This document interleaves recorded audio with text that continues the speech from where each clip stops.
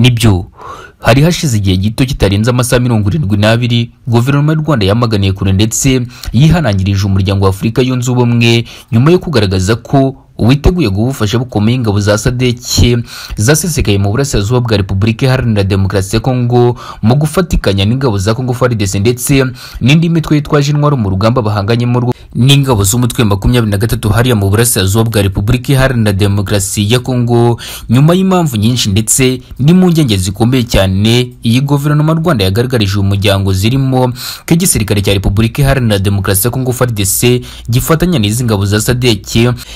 bakomeje gufatanya n'imitwe yitwaje intwari ikorera mu mashyamba ya repubulika iharanira demokarasi ya kongo imitwe idahwema kugaragaza ndetse no gukaza imyitozo yo guhungabanya umutekano w'igihugu cy'u rwanda ndetse n'ibindi bihugu bigize afurika y'iburasirazuba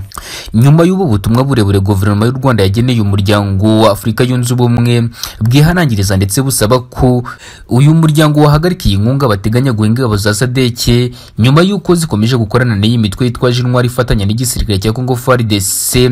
umuryango wa afurika yunze ubumwe wamaganiye kure ubu bufasha bw'igihugu cy'u rwanda ndetse unagaragaza neza ko witeguye guha ubufasha bukomeza ingabo za sadeke ndetse ko zikuyiba ubufasha bw'intwaro ndetse n'ibindi bikomeye cyane bizabafasha mu gutsinda burundu ndetse no guhashya umutwe wa makumyabiri na gatatu mu burasirazuba bwa repubulika iharanira demokarasi ya kongo iyi ni inkuru ikomeye cyane nyuma y'uko intambara ikomeye cyane ikomeje kuba mu duce twigaruriwe n'ingabo z'umutwe wa makumyabiri na gatatu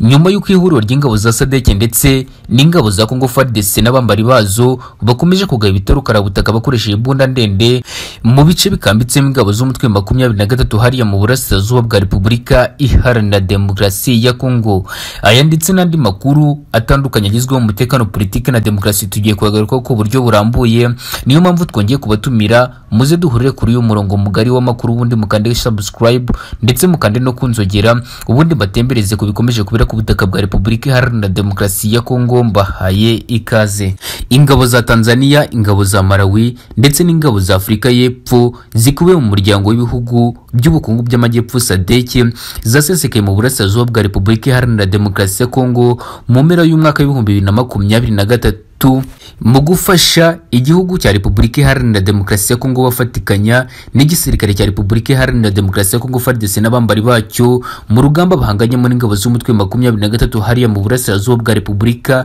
iharanira demokarasi ya kongo ariko bikaba bikomeje kugorana nyuma yo gukomeza gutangazwa amakuru agaragaza neza ko ingabo za sadeke ndetse n'abambari bazo bakomeje gupfa ubutitsa nyuma yo kugabwaho ibiterukara butaka n'igisirikare cy'umutwe makumyabiri na gatatu bakomeje kwita witirira ko gifashwe n'igihugu cy'u rwanda ndetse kivanze n'ingabo z'u rwanda rdf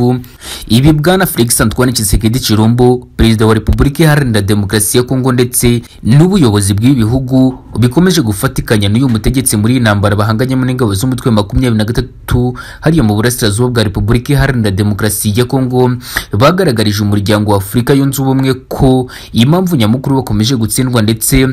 bakomeje kunanirwa kugarura amahoro n'umutekano urambye mu burasirazuba bwa repubulika iharanira demokarasi ya kongo ibiri guterwa n'ibikoresho bike bakoresha muri uru rugamba bahanganyemo n'ingabo z'umutwe makumyabiri na gatatu ndetse banagaragaza neza ko ingabo z'umutwe makumyabiri na gatatu ziri gukoresha ibikoresho kabuhariwe bari guhabwa n'igihugu cy'u rwanda ndetse n'igihugu cya uganda ku bufatanye bukomeye cyane buri hagati y'ibihugu byombi ndetse n'ingabo z'umutwe makumyabiri na gatatu hariya mu burasirazuba bwa repubulika iharanira demokarasi ya kongo kongo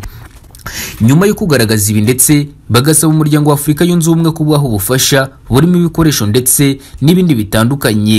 ubu bufasha bwasabiwe mu nama idasanzwe yabaye hakoreshejwe ikoranabuhanga uyu muryango wunze ubumwe wa afurika wahise wemera kure ubusabe bw'igihugu cya repubulika iharanira demokarasi ya kongo ndetse n'iz'ingabo za sadeke bwo guhabwa intwaro ndetse n'ibindi byabafasha muri uru rugamba bahanganyemo n'ingabo z'umutwe makumyabiri na gatatu hariya mu burasirazuba bwa repubulika iharanira demokarasi ya kongo bidatinze guverinoma y'u rwanda yahise yamaganira kure ndetse